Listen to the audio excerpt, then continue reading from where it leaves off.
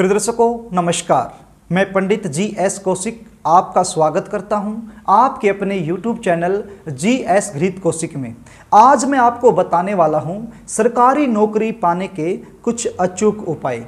आज का जो कार्यक्रम है विशेष रूप से उन बच्चों के लिए बेहद खास होने वाला है, जो बच्चे लगातार सरकारी नौकरी के लिए प्रयास कर रहे हैं, लगातार मेहनत कर रहे हैं, लेकिन फिर भी उनको सफलता नहीं मिल पा रही है। कभी दो नंबर से रह जाते हैं, कभी पाँच नंबर से रह जाते हैं और कभी दस नंबर से रह जाते हैं। लगातार मेहनत करने के बावजूद भी वो सफल नहीं हो पा रहे हैं। तो ऐसे बच्चे यदि ये उपाय करते हैं तो निश्चित रूप से उनको लाभ मिलेगा और सरकारी नौकरी में जो विघन आ रहा है, जो बाधा आ रही है, वो दूर हो जाएगी। जो बच्चे मेहनत नहीं करते हैं, लगातार प्रयास नहीं करते हैं और सोचते हैं कि ये उपाय करने से ही उनको नौकरी मिल जाए तो बिल्कुल भी नहीं होगा ऐसा। देखिए, सरकारी नौकरी पाने के लिए कड़ी मेहनत करने की आवश्यकता होती है। लगातार प्रयास करने की आवश्यकता होती है। यदि आप कड़ी मेहनत करते हैं, लगातार प्रयास करते हैं और फिर भी आपको नौकरी नहीं मिल रही है तो ऐसी सिचुएशन में यदि ये उपाय आप करते हैं तो आपके लिए रामबाण सिद्ध हो सकते हैं। जन्म कुंडली का जो दसवां भाव होता है, वहाँ से किया जाता है नौकरी का विचार। चाहे वो सरकारी हो या फिर प्राइवेट हो या फिर व्यापार हो, क्योंकि कैरियर का विचार हम दसम भाव से ही करते हैं। और जन्म कुंडली का जो छठवां भाव होता है, वहाँ से किया जाता है कंपटीशन का और परीक्षा का विचार। यदि जन्म कुंडली के दसवें और छठवें भाव का किसी भी प्रकार से संबंध बन जाए तो ऐसे जातक को नौकरी ही करनी चाहिए। नौकरी ही करना उसके लिए ठीक रहता है। प्रदर्शकों कार्यक्रम को आगे लेकर के चलूँ। इससे पहले आपसे निवेदन करना चाहूँगा, यदि आप चैनल पर नए हैं और अभी तक आपने चैनल को सब्सक्राइब नहीं किया है तो चैनल को सब्सक्राइब ज़रूर कर लें। बेल आइकन को भी प्रेस कर लें, ताकि हमारी आने वाली इसी प्रकार की नई वीडियो का नोटिफिकेशन आपको मिल सके और वे वीडियो आप आसानी से देख पाए। तो प्रदर्शकों आइए जानते हैं वो अचूक उपाय। पहला जो उपाय है, वो बनता है रविवार के दिन का। मैं तो ये कहता हूँ, ये उपाय आप हर रोज कर दीजिए। यदि हर रोज करने का समय आपके पास नहीं है तो रविवार के दिन तो आपने ये उपाय ज़रूर करना है। करना क्या होगा? सुबह जल्दी उठना होगा। स्नान आदि से निवृत्त होकर के लाल रंग के वस्त्र धारण करने होंगे। यदि लाल रंग के वस्त्र आपके पास नहीं है तो कोई भी लाल रंग का कपड़ा आप ले लीजिए और आसन पर उसको बिछा बिछा दीजिए और उसके ऊपर आप बैठ जाइए। अपने सामने एक तांबे का लोटा रख लीजिए। तांबे के लोटे में क्या होना चाहिए? सबसे पहले उसके अंदर थोड़ा सा गंगा जल डाल लीजिए। उसके बाद उसको शुद्ध जल से भर लीजिए और उसके बाद गाय का जो घी होता है, उसकी सात बूंद उस जल में डाल लीजिए। यदि गाय का घी आपके पास नहीं है तो फिर भैंस का आप प्रयोग में कर सकते हैं। यदि वो भी नहीं है तो फिर डिब्बे वाला जो घी आता है शहरों में, वो भी आप प्रयोग में ला सकते हैं। तो सात बूंद घी की उस जल में डाल लीजिए और इस लोटे को अपने सामने रख लीजिए। लोटा तांबे का होना चाहिए। दूसरा, एक शुद्ध देसी घी का दीपक आप जला लीजिए और वो भी अपने सामने रख लीजिए। उसके बाद एक मंत्र का जाप आपने करना है। मंत्र कौन सा है? आप स्क्रीन पर देख लीजिए और इसका उच्चारण मैं कर देता हूँ। ओम हरांग हरिंग हरोम सह, सूर्याय नमः। मंत्र क्या है? ओम हरांग हरिंग हरोम सह, सूर्याय नमः। तो इस मंत्र का जाप आपने 108 बार करना है। 108 बार मंत्र का जाप करने के बाद ये लोटा आपने उठाना है और सूर्य भगवान को दे देना है। किस प्रकार से देना है? जब आप सूर्य भगवान को अर्घ दे रहे हैं तो उस समय जो आपके हाथ हैं, वो कम से कम सिर से एक फुट की ऊंचाई पर होने चाहिए। इस प्रकार से आपने देना है। और बोलना क्या है? ओम श्री सूर्याय नमः। ओम श्री सूर्याय नमः। ओम श्री भास्कराय नमः। इस प्रकार से भी बोल सकते हैं। सूर्य नारायण के बहुत सारे नाम हैं। कोई भी नाम आप ले सकते हैं जब आप अर्घ दे रहे हैं।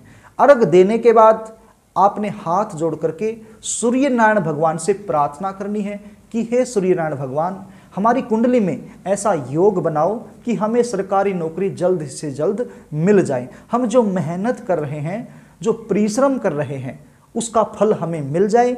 इस ऐसी हम पर आप कृपा करें। तो इस प्रकार से आप प्रार्थना कर सकते हैं। ये उपाय आप हर रोज भी कर सकते हैं। यदि हर रोज नहीं कर सकते हैं तो रविवार के दिन ये उपाय आपने ज़रूर करना है। ये उपाय करने से सरकारी नौकरी में जो विघ्न बाधा आती हैं, जो अड़चने आती हैं, वो दूर हो जाती हैं और कहीं ना कहीं सरकारी नौकरी का योग बन जाता है। तो प्रदर्शकों, अब बात करते हैं दूसरे उपाय की। दूसरा जो उपाय है, वो करना है सोमवार के दिन। करना क्या होगा? एक स्टील का लोटा आप ले लीजिए उस स्टील के लोटे में सबसे पहले थोड़ा सा गंगा जल आप डाल लीजिए। उसके बाद थोड़ा सा कच्चा दूध आप उसके अंदर डाल लीजिए। उसके बाद उसको शुद्ध जल से भर लीजिए। उसके बाद उसमें थोड़ा सा मीठा डाल लीजिए। मीठे में क्या लेंगे? आप मिश्री दाना ले सकते हैं। आप इसमें चीनी डाल सकते हैं। थोड़ी सी डाल लीजिए। उसके बाद इसमें चावल डाल लीजिए। चावल बिल्कुल साफ़ सुथरे होने चाहिए।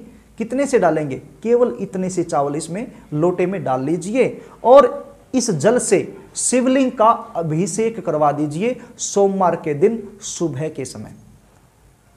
किसी भी सोमवार से आप शुरू कर सकते हैं और लगातार 16 सोमवार ये प्रयोग आप कर दीजिए। जब आप शिवलिंग पर ये जल अर्पित कर रहे हैं तो मन ही मन में बोलना है, क्या? ओ नमः शिवाय ओ नमः शिवाय, ओम नमः शिवाय। इस प्रकार से आपने बोलना है और धार बना करके शिवलिंग पर इस जल को अर्पित कर दीजिए और उसके बाद हाथ जोड़ करके शंकर भगवान से प्रार्थना कीजिए कि हे शंकर भगवान, मेरी कुंडली में जो भी दुर्योग बने हुए हैं, उनका समन करें। सरकारी नौकरी में जो विघ्न बाधा आ रही है, उससे मुझे छुटकारा दिलाएँ और जल्द से जल्द कोई ऐसा योग बनाएँ कि मुझे सरकारी नौकरी मिल जाए। तो इस प्रकार से आप प्रार्थना कर सकते हैं। ये उपाय करने से भी सरकारी नौकरी में जो विघ्न बाधा आती हैं, उनसे छुटकारा मिलता है।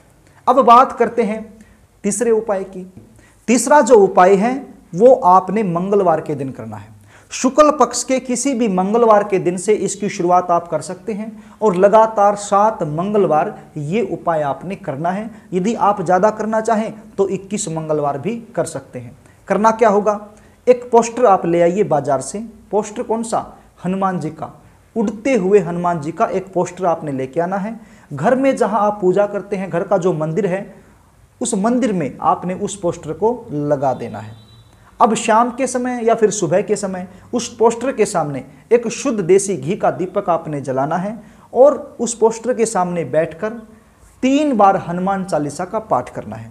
तीन बार हनुमान चालीसा का पाठ करके हनुमान जी से प्रार्थना करनी है कि, हे हनुमान जी, मेरी कुंडली में कोई दुर्योग बना हुआ है तो उसका समन कर दीजिए, उसका निवारण कर दीजिए और सरकारी नौकरी पाने में जो भी विघ्न बाधा आ रही है, उनसे भी मुझे छुटकारा दिलाइए और कोई ना कोई ऐसा योग, ऐसा चमत्कार कीजिए कि जल्द से जल्द मुझे सरकारी नौकरी मिल जाए।